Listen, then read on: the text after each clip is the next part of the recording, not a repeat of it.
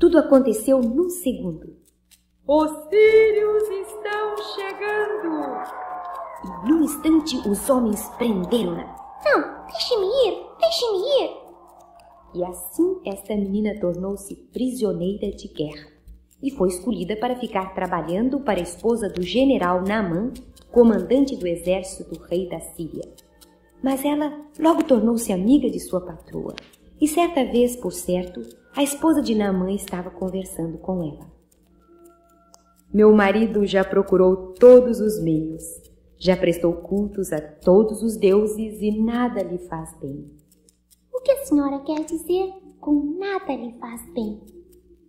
Você, por certo, já ouviu falar que meu marido é, é leproso? Sim, senhora, eu já ouvi. Você tem lágrimas nos seus olhos. Por quê? Você devia nos odiar? Não! A senhora tem sido tão boa para mim e Deus me conservou viva para servi-la. Você é uma menina tão diferente. Conversa sobre seu Deus como se ele fosse seu seu pai. Mas ele é meu pai. Eu gostaria. Eu gostaria que o general Naamã fosse ver Eliseu, o profeta de meu Deus que está em Samaria. Deus fala através dele. Ele pode fazer tudo. Ele separou as águas do rio Jordão. Ele ressuscitou o menino. Ele. Você acha que este profeta pode curar meu marido? Eu sei que ele pode. Assim, o general Namã com os soldados e empregados seguiram para Samaria. E por certo a pequena escrava ficou orando. Eliseu, ouvindo falar de Naamã, mandou dizer-lhe: Deixe esse homem vir a mim e saberá que há um profeta em Israel e um Deus nos céus. E momentos depois, o general Namã dirigiu-se para a casa de Eliseu com seus cavalos, seus carros, seus soldados, seus presentes. Mas o grande profeta de Deus nem saiu da casa para atendê-lo, mas em seu lugar saiu um mensageiro dizendo: Vai, lava-te sete vezes no Jordão e tu ficarás limpo da lepra. Naamã ficou furioso. Lavar-me no Jordão? Oh, este profeta está caçoando de mim. Eu sou o general Naamã do exército do rei de Damasco. Não são porventura os rios de Damasco melhores que todas as águas de Israel? Não poderia eu lavar-me neles e ficar limpo? Voltemos, eu devia saber. Senhor, se o profeta lhe tivesse dito para fazer uma coisa difícil, o Senhor teria feito. Porém, isso é uma coisa tão simples. Por que o Senhor não tenta? Viemos de tão longe para isto. Está bem, está bem. Vamos até este rio Jordão. Mas quando chegaram no rio Jordão, a água está suja e amarela. Com todos os rios limpos por aí, ele teve de escolher justamente este rio sujo. Viu? Eu lhes dizia, a lepra ainda está aqui. A água está escorrendo pelo meu corpo, mas a lepra ainda está aqui.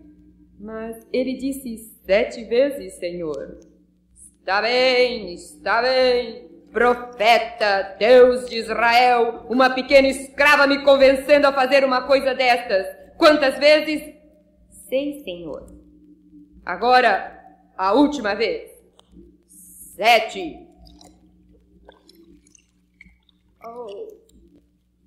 Saiu. A minha lepra saiu, estou limpo. A minha pele parece de criança, estou curado. Jeová, o Rei vivo de Israel.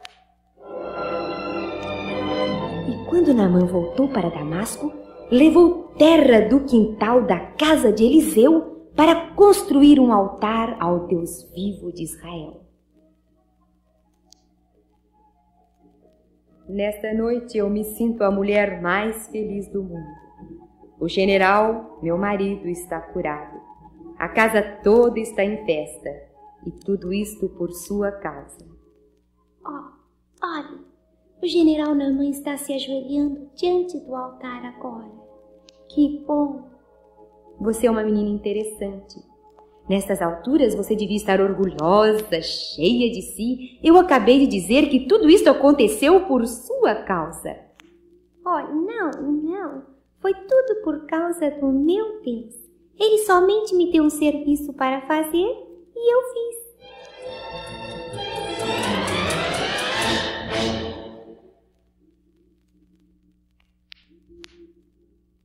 Na palavra de Deus nós vemos como ele nos ama e cuida de nós. Jesus até nos disse que não devemos nos preocupar.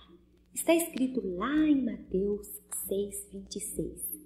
Observai as aves do céu, não semeiam, não colhem, nem ajuntam em celeiros, contudo vosso Pai celeste as sustenta.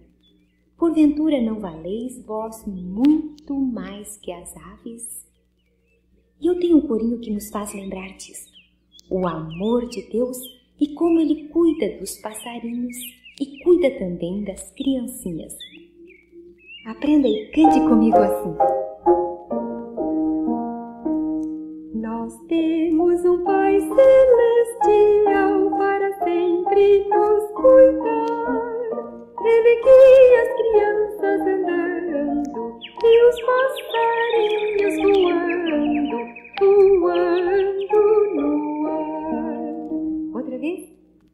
Nós temos um Pai celestial para sempre nos cuidar.